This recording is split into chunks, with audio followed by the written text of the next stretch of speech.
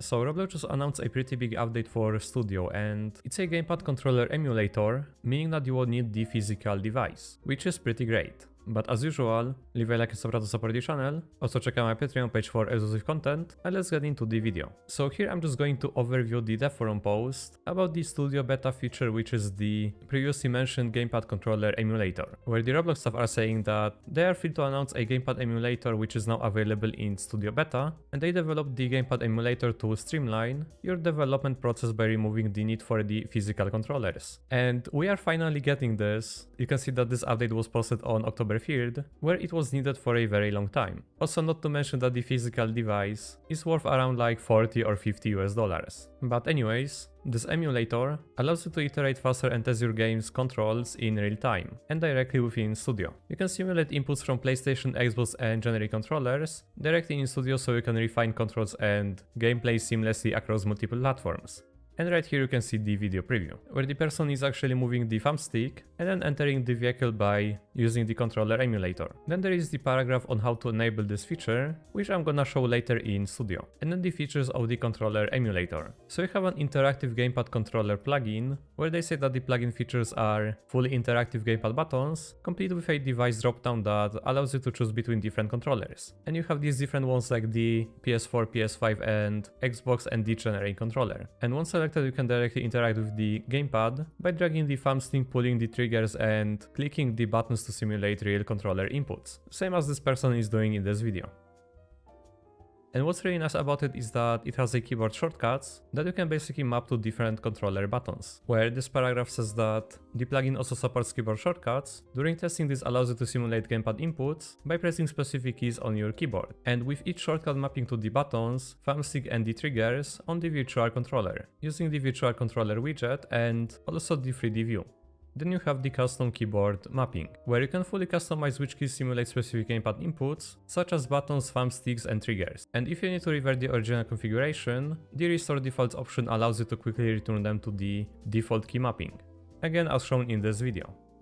So you're already going to have a key map basically assigned to the controller that you can also modify whenever you want. And it's really nice that it's actually going to display on the controller emulator preview on the right. So it's really nice that you're going to have the thumbstick movement, but I don't think it's going to register how strongly you press the keys. Because whenever you drag the thumbstick, it's going to move your character, for example, a little bit slower than if you were to fully move them. Then we have the best practices, saying that currently the keyboard mappings can only be assigned to a single key, and modifiers like control Shift or Alt are not supported. So for example, if you were to just press like Ctrl and A, it's not going to work yet. And each key can only be mapped to one gamepad action, meaning no two functions can share the same key binding. And each controller has its own key mapping.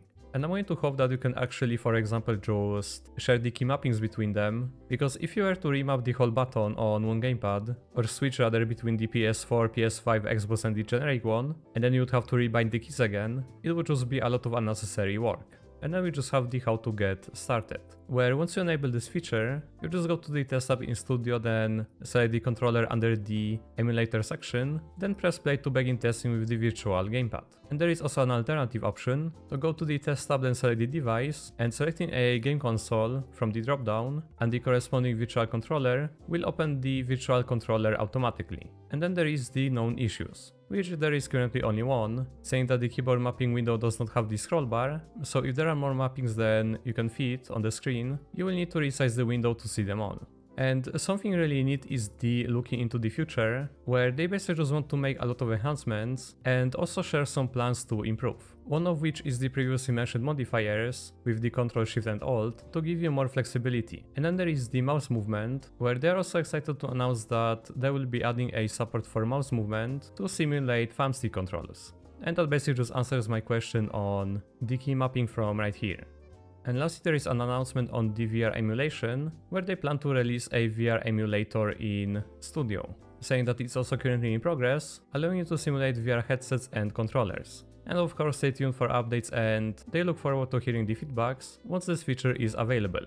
So yeah, that's basically all of the dev forum post. Again, a feature like this was needed for a very long time, and I guess I don't need to use my Xbox controller anymore. And I am also really curious on if this controller emulator is also going to work on GUI. For example, to move across the selectable elements, because if you all know, designing user interface for Xbox is kind of a pain. But anyways, I'm just going to hop into Studio now. And well, this is a bit new, because I was using Studio today and I didn't have this page, but it's really nice to see Roblox actually roll out the new Studio design. And it also started up kind of fast compared to the previous Studio startup. But anyways, let's just go into an empty baseplate. But now on how to actually enable the gamepad emulator, we need to go into file then beta features, and then scroll down and find the gamepad emulator right here. Then just press on save, and restart Studio. And now after restarting we should have the gamepad emulator under this test tab. And it's actually right here. And here it actually is. And in the meantime I'm also hoping that Roblox will fix the docking system because it's kind of, yeah, I'm just going to move it right here. So by default it's just going to look like this. And we have the option to change from the generic to PS4. And it also changes the image which is really nice. Then the PS5, where this graphic seems to be kind of broken. But lastly there is the Xbox and we can actually press on these buttons. And let's see, if I try to for example just press W, it's not really going to do anything, but I'm going to see this on a playtest. And whenever I'm pressing these buttons is actually emulating, you can see that my mouse is basically just right here, and I am also able to move my character. And I should also be able to move the thumbstick and this was the thing that I was talking about previously, about the character moving slower when you only move the thumbstick a little bit. So it's also pretty awesome that they well added this.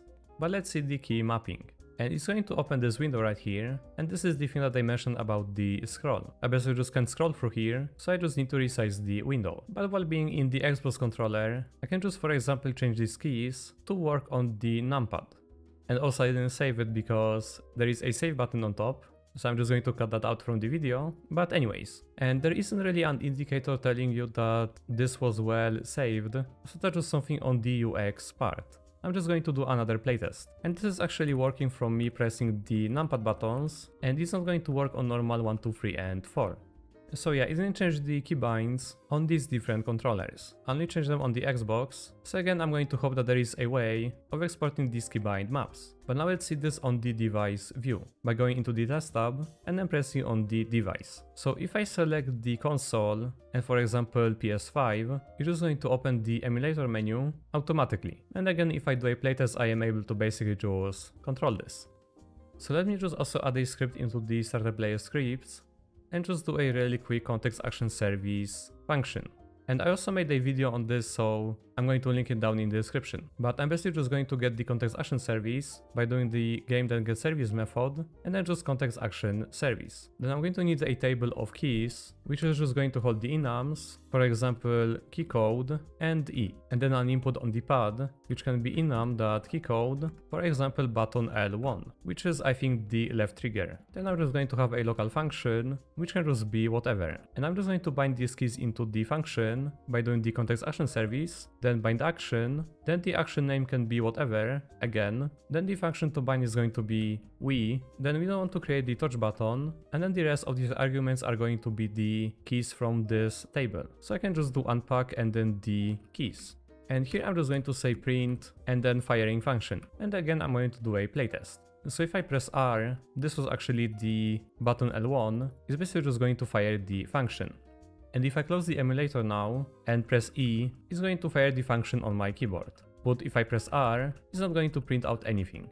So I need to have the emulator open for this to basically just work. And right now I can disable the device and also delete this local script. And I'm just going to make whatever screen GUI because I also want to see if this one is going to work with the selectable property. So again I'm going to open the controller and again just do a playtest where normally if I just press the backslash or the pipe key on my keyboard, which is above the enter and under the return, it's going to activate the UI navigation, where I'm going to be able to navigate through the UI with for example my arrow keys. And I don't exactly remember which button it was on the gamepad, so I'm just going to have to press random buttons now. And it was actually Q. And this actually also works. So it was pretty awesome that you can basically open the UI navigation even on the emulator. And lastly, I also wanted to check, because if you go to the starter GUI, you are going to have the virtual cursor mode.